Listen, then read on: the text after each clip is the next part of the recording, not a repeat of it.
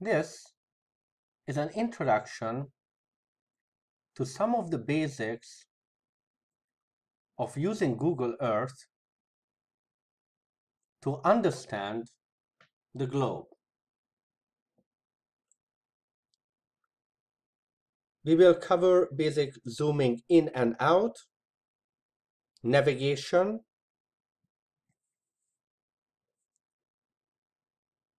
some of the overlays, and even measuring distances.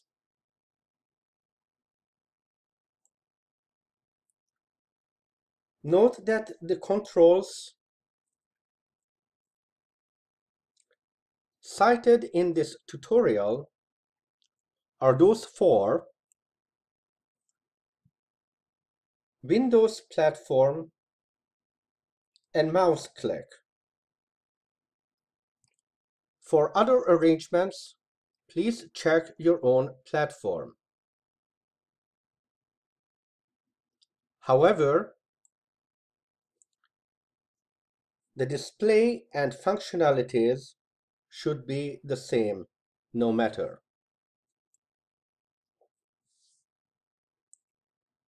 To find the online version of Google Earth, you can just search for it.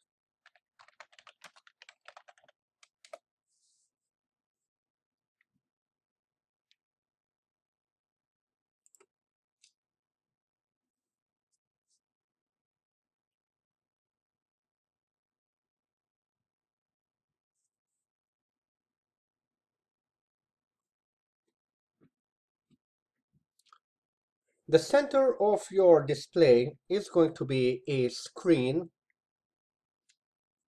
depicting a spatial or aerial view of the Earth from a camera distance indicated in the lower right corner.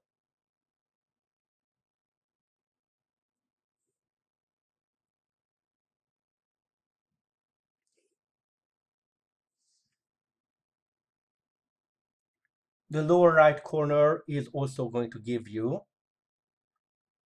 a scale as well as the latitude and longitude coordinates of the center of your display.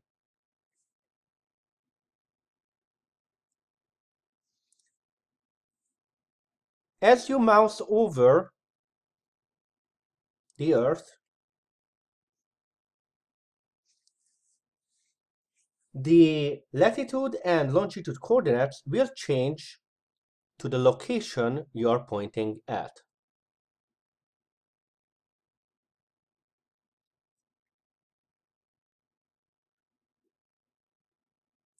In the lower right corner, you will also see the plus and minus signs for zooming in and out. You can also shortcut the zooming function if you have a mouse scroll, in which case the zooming is going to be towards the direction where your mouse pointer is pointed at.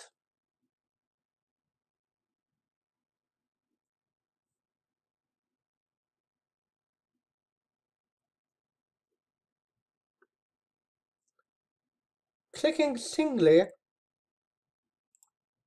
on any recognizable location at that zoom distance can give you information.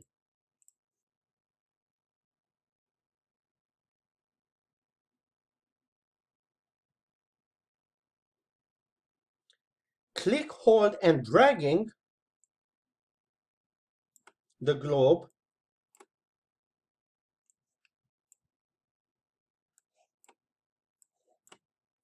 will spin it around so you can better center your area of interest.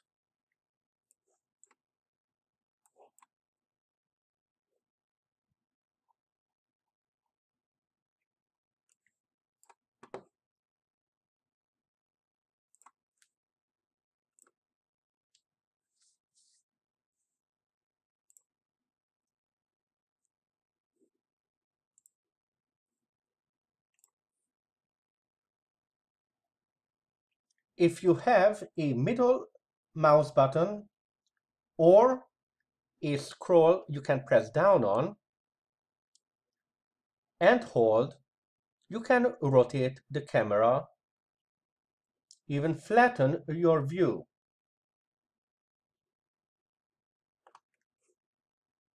You can reset by clicking on the compass icon in the lower right corner.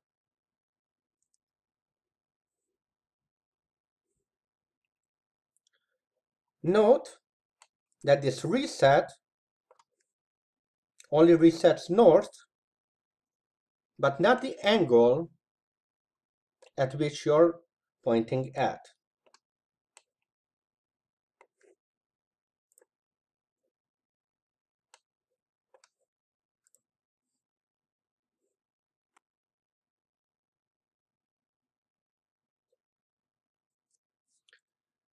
Let us now quickly take a look at the menus.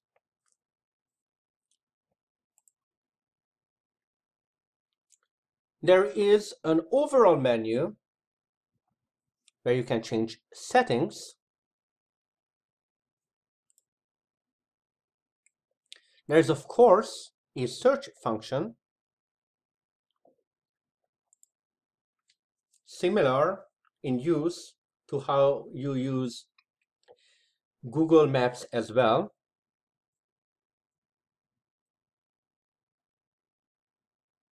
But let us now skip down to map style, which will give you the overlays.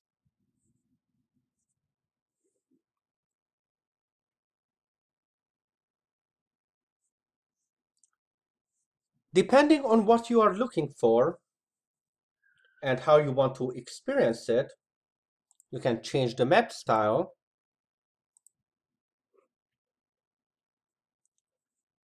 which may change depending on how much you zoom in.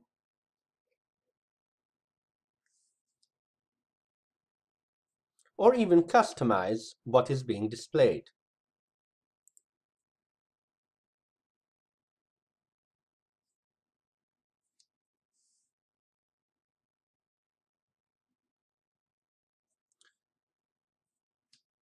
For exploration in geography, you will also want to turn on grid lines. This will turn on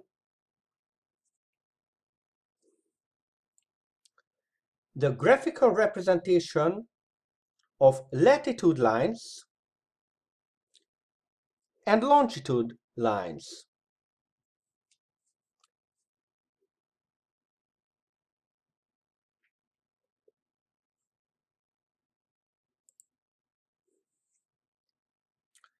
Let's explore how these display. As you move around, notice that going left and right, the indicators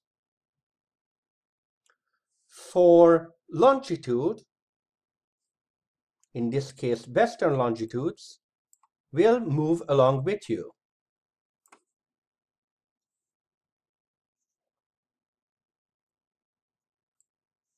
For example, the Yucatan Peninsula is approximately along the 90 west longitude line along with the state of Mississippi, Illinois, or Ontario.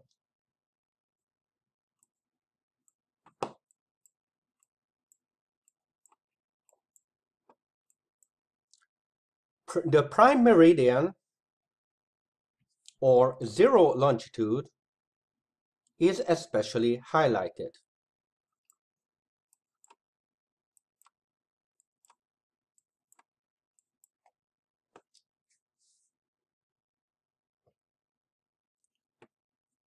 Latitude lines are these ones crossing between left and right with zero latitude being the equator running through such countries as Kenya or Indonesia.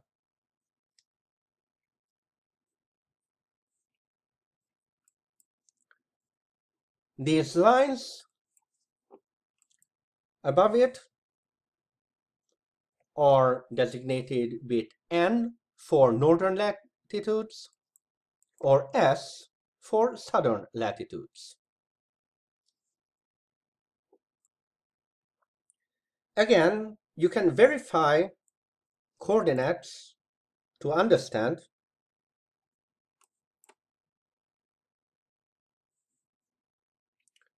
by hovering your mouse over the place of interest and looking in the lower right hand corner. For example, Melbourne, Australia is approximately at 38 degrees south latitude and 145 degrees east longitude.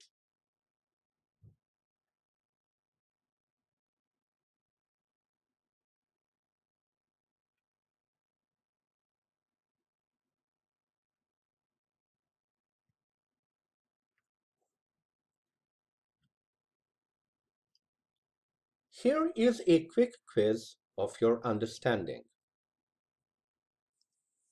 What capital city can be found near 34 degrees south and 58 degrees west?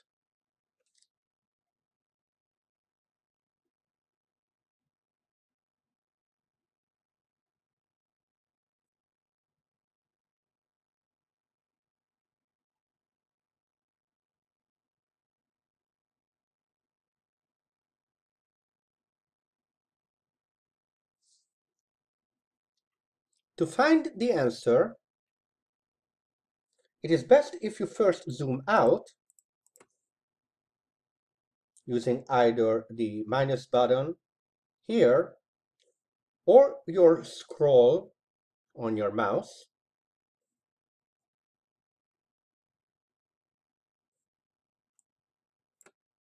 Then spin the globe around to the western hemisphere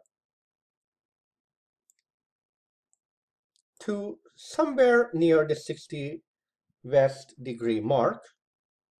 Start zooming in for 58 degrees west and then move down to the desired latitude. Now look for a capital city. In this case, the answer is Buenos Aires in Argentina.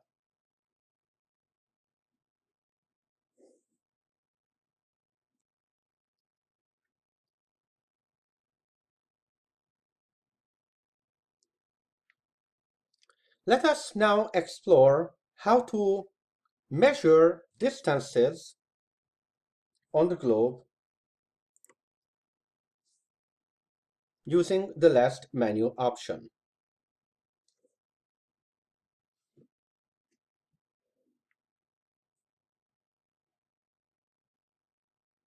Note that you can have Google Earth calculate the distance for you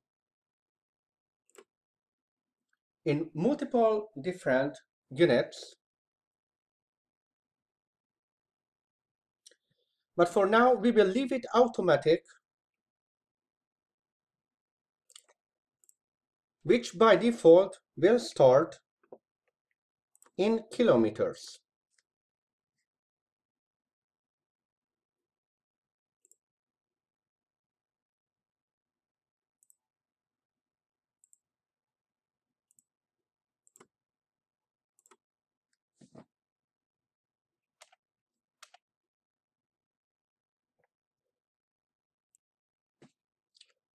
While in distance measuring mode, if you click hold or zoom you can still navigate the globe.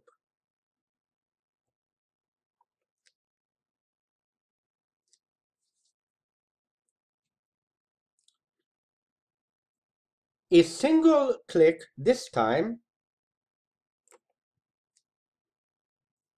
puts down a pin marker to a location you want to calculate the distance from. As long as you don't single click again, you can continue your navigation.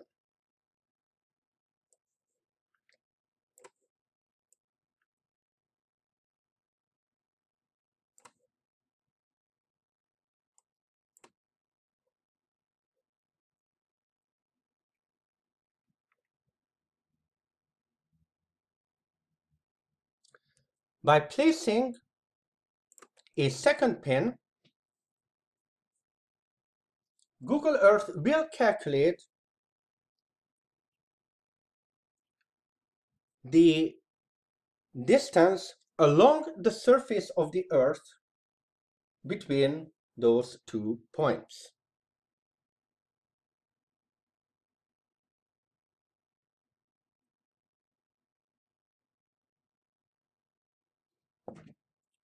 You can continue the navigation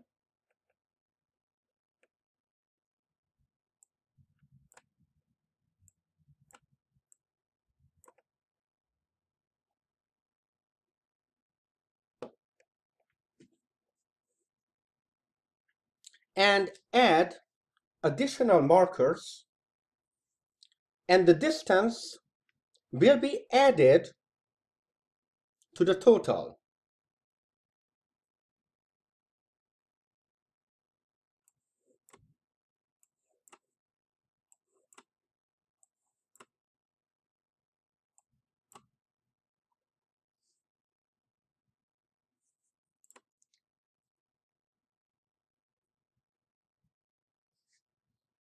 If you misplaced any one of the markers, by pressing backspace, you can remove the last one.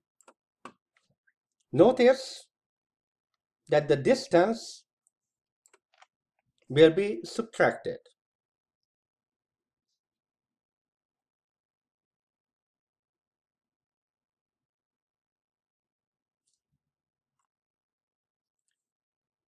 Note that the distance measurement tool provided by Google Earth only calculates the shortest distance on the globe between any two points. Because the Earth's surface is curved, this shortest distance might not be along the same latitude line.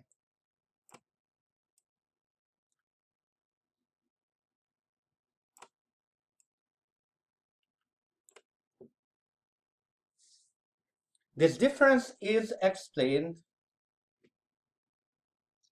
in another video on shortest distances along a globe.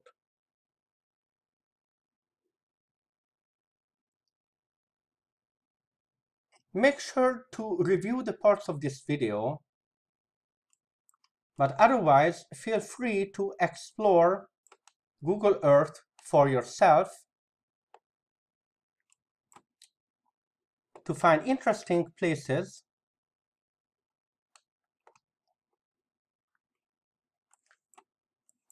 even explore some of the cities close up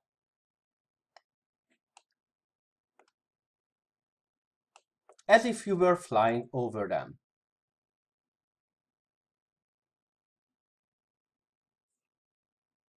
Have fun.